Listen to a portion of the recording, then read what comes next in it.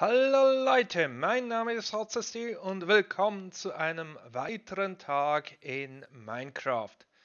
Letztes Mal haben wir die, den Villager Breeder äh, zumindest so weit fertiggestellt, dass wir nun dafür sorgen müssen, dass da mindestens zwei Villager reinkommen.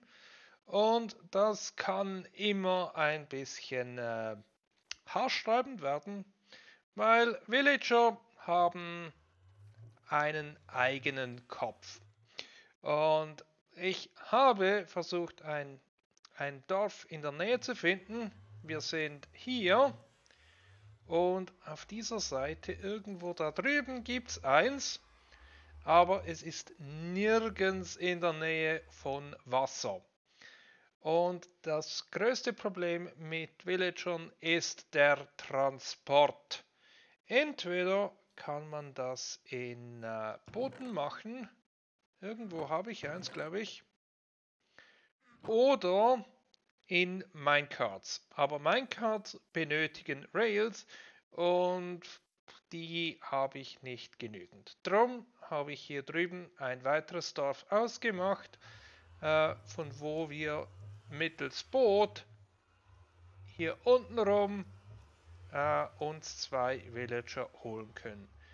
Aber zuerst möchte ich hier etwas Infrastruktur schaffen, so dass wir dann auch die äh, Villager, äh, wenn wir dann äh, sie geholt haben, dass wir sie auch gleich äh, nach unten verfrachten können. Das, was ich hier konstruiert habe, sieht zugegebenermaßen etwas furchtbar aus, aber es ist funktional und wir können äh, unseren äh, Villager hier rein buxieren und wenn wir ihn dann da auf dem äh, Block unten haben, können wir den Block unter seinen Füßen wegziehen und dann landet er unten äh, in unserer kleinen Höhle.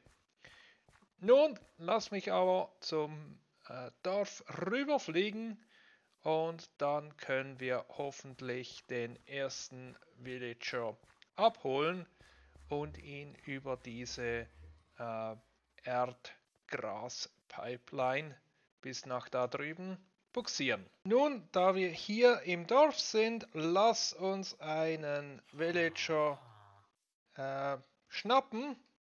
Vielleicht einer dieser beiden Farmer. Möglicherweise bringen die ja bereits äh, äh, gewisse Qualifikationen mit sich. Ja. Und nun einfach nicht auf die äh, Pfadblöcke. Ja. Und wir sind im Wasser. Dann äh, schauen wir mal, wo wir hin müssen. Ich glaube erstmal hier raus und dann nach links rüber.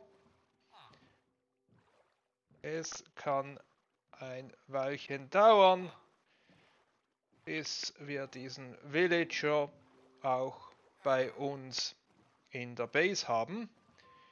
Und das Ganze muss ich dann nochmals machen. Aber es ist schon ein bisschen spät, darum denke ich, äh, ich lasse den Villager einfach mal hier im Boot. Äh, da sollte er die Nacht durch äh, sicher sein.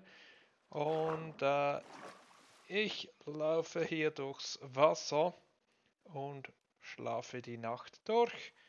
Und dann schauen wir äh, wie wir den Villager morgen dahin bringen, wo er hin muss. Nun denn, ich habe das Boot hier auf diesem äh, Dirtblock platziert mit einer Pisten darunter. Und wenn ich diese nun äh, powere, äh, dann wird der Block hochgehoben und wir können einen neuen Block dazwischen schieben und das Ganze wiederholen. Und dann nochmals. Und dann sollte unser Villager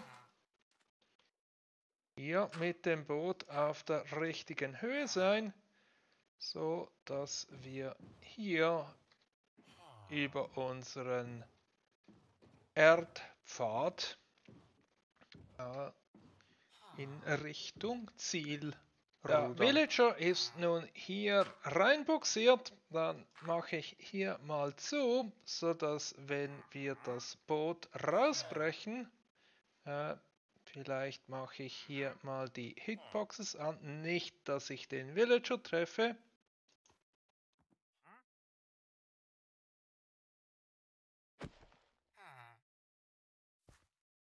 Und er ist bereits unten im, im Loch. Das heißt, ähm, wenn ich jetzt hier losmache, segelt er nach unten und er hat so schon seine Berufung gefunden. Sehr schön. Äh, dann brauchen wir nur noch den zweiten Villager. Das funktioniert nach dem gleichen Schema. Äh, ich muss einfach hier oben wieder den Ursprungszustand äh, herstellen, so dass wir keine Probleme haben. So, mal schauen, ob wir mit dem zweiten Villager hier auch wieder so viel Glück haben wie mit dem ersten.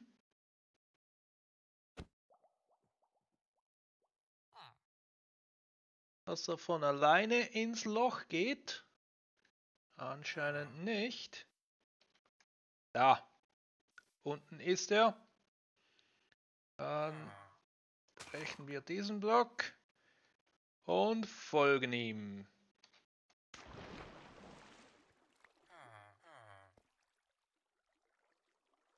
Okay. Und es geht schon los. Aber bisher werden wir nur Herzchen sehen. Habe ich gedacht weil wir haben nur zwei, zwei Betten hier. Und was wir brauchen ist diese zwei Villager äh, sollten sich hier reinbegeben, äh, so dass wir äh, die beiden Villager hier drin haben. Äh, die werden sich dann gegenseitig versorgen und äh, neue Babys produzieren. Äh, hier machen wir zu. Dieses Trapdoor öffnen wir. Und so denkt der Villager, dass er hier rüberlaufen kann, aber er fällt nach unten. Und zwar nur die Baby Villager, weil wir hier oben ein zweites Trapdoor haben und das heißt, die erwachsenen Villager, die sind zu groß. Ähm ja, eigentlich können wir jetzt schon zumachen. Ja, weil dieser Baby Villager, eventuell wird er äh, erwachsen. Und alles, was wir hier jetzt noch machen müssen, ist auf dieser Seite platzieren wir ein paar Betten, so dass Okay. Ah, der Baby Villager ist da reingelaufen, das heißt, wir haben wiederum nur einen Villager hier drin. Ähm, aber wir können hier nochmals aufmachen.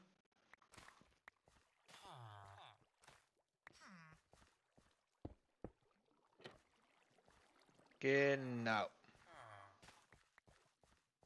Zwei Erwachsenen sind drin. Unser Baby ist da unten und sobald das äh, erwachsen wird, streckt es den Kopf in den oberen Wasserstrom und wird dann in das Eck buxiert. Also nächster Punkt, die Betten. Nun zum letzten Teil dieses Breeders. Wir haben hier das Trapdoor äh, oben, das nach unten zeigt. Dann auf dieser Seite ein Trapdoor, auf dieser Seite eins. Und damit haben Baby Villager das Gefühl, sie können hier rüberlaufen. Aber wieso sollten sie? Ganz einfach, weil hier sind die Betten. Und wie wir wissen, lieben Baby Villager es auf, äh, äh, auf Betten rumzuhüpfen. Und nun, da wir hier äh, das Ganze äh, vervollständigt haben, können wir auch hier die Decke zumachen, so wie es sein soll. Und hier schließen. Und damit ist unser Villager Breeder fertig. Nun, der nächste Punkt ist, äh, von hier äh, muss ich ein Gleis bauen, das nach oben führt. Und ich denke, wir werden unter, knapp unterhalb der Oberfläche werden wir ein, einen zweiten Raum haben, äh, wo wir dafür sorgen können, dass wir äh, optimale äh, Trades von den Villagern bekommen. Optimal heißt äh, so günstig wie möglich. Zum Abschluss dieser Episode habe ich hier oben noch eine äh, Sticky Piston platziert, äh, die den Glasblock da in die Mitte schiebt und das unterbricht die äh, Sicht auf die Betten und somit werden die zwei äh, äh, Villager da drüben keine neuen Babys mehr produzieren äh, und wir können so den Fluss an äh, Villagern kontrollieren. Und wir können dies einfach über diesen äh, Schalter äh, ein- und ausschalten und somit haben wir vollkommene Kontrolle. Nun, dies soll es sein für diese Episode. Äh, in der nächsten wollen wir dann mal schauen, was wir mit den Villagern äh, anfangen, äh, um sie dann irgendwann auch in einer Trading Hall mit guten Trades platzieren zu können. Also schaltet wieder ein, wenn es wieder heißt, ein weiterer Tag in Minecraft. Bis dann, tschüss!